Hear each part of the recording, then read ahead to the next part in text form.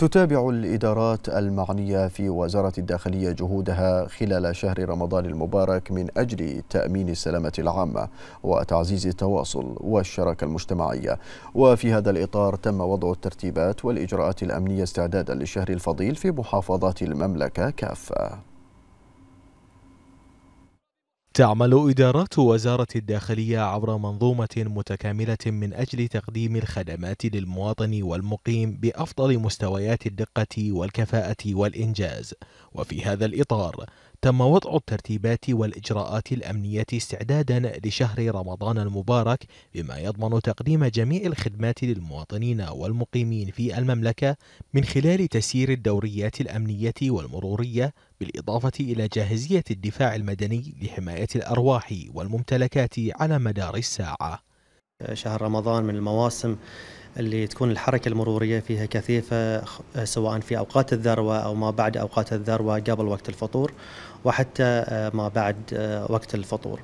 الإدارة العامة للمرور تقوم بحملات توعوية في مختلف آه، الطرق وحملات إنفاذ القانون بهدف الحد من المخالفات المرورية والحفاظ على سلامة مستخدمي الطريق وتدعو الإدارة الالتزام بالأنظمة والقواعد المرورية والاستفادة من خدمات تطبيق المرور إي ترافيك بحيث أنه يشمل على أكثر من 35 خدمة وأيضا خدمة الحوادث البسيطة مما يسهل على الجمهور آه، إجراءاتهم المرورية في أسرع وأسهل صورة ممكنة. تقوم الإدارة العامة للدفاع المدني دائما بتحديث مستمر للخطط في شهر رمضان.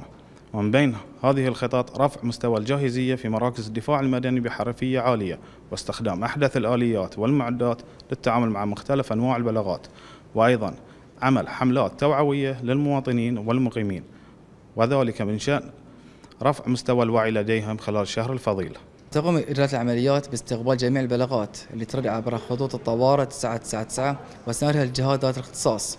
كذلك يتم تسيير دوريات النجدة جميع محافظات المملكة على مدار الساعة للاستجابة للبلاغات ولبث الطمأنينة وتقديم العون والمساعدة لمرتادي الطريق. وننوه الجميع في المحافظة على الآداب والسلوكيات العامة خلال هذا الشهر الفضيل والتعامل مع رجال الأمن.